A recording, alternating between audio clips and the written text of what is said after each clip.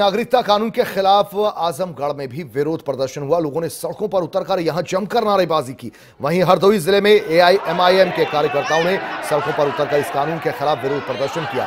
नागरिकता एक्ट को वापस लेने की मांग के लिए एसडीएम को ज्ञापन सौंपा गया। इसके साथ ही हमीरपुर में मुस्लिम समुदाय के लोगों ने मोदी सरकार के खिलाफ जमकर नारेबाजी की।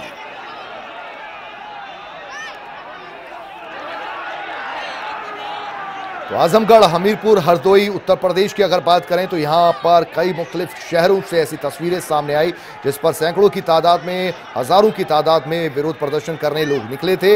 हालाँकि ये शांतिपूर्ण प्रदर्शन रहा, पुलिस यहाँ साथ साथ मौजूद थी। मार्च में पुलिस साथ साथ चलती रही और लोगों ने बैनर पोस्टर्स के ज़रिए कहा कि ये किसी के हक में नहीं है।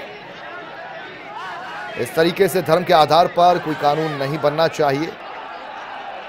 और यही मांग थी कि इस कानून को वापस लिया जाए।